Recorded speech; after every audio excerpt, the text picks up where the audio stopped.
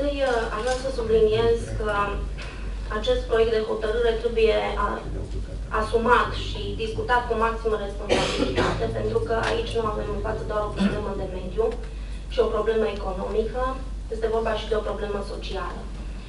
Uh, ieri uh, am stat de vorbă cu antevorbitoarea mea și am cerut niște lămuriri vis-a-vis -vis de acest proiect, pentru că, așa cum uh, apare pe site, proiectul de hotărâre, pentru mine nu este lămuritor. Și o să vă spun de ce. Îmi pun problema, ca avocat, pun problema legalității. Nu o să intru pe partea de legalitate a alocării acestor sume, deși concluzia mea a fost că nu se încearcă altceva decât să se acopere nerealizările din faza întâi. Am cerut un aviz, uh, un deviz, să mi se prezinte devizul Smith pe 2016 pe care l-am primit doar acum, deci nu mă pot pronunța așa cum uh, am spus asupra acestui deviz. Am sesizat ieri că nu sunt defalcate corect sumele, exact ceea ce spuneați dumneavoastră vis-a-vis -vis de adresa de la mediu.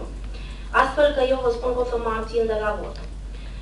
Uh, aș vrea să subliniez un anumit lucru. Dincolo de această problemă de legalitate a alocării sumelor pe care mie, în baza documentelor la care am avut acces până în acest moment, uh, această problemă nu s-a lămurit. Se mai pune o problemă și a legalității din prisma hotărârii de guvern 349 pe 2005 privind depozitarea deșeurilor care stipulează clar faptul că distanța unei așezări față de depozitul de deșeuri trebuie să fie de minim 1000 de metri.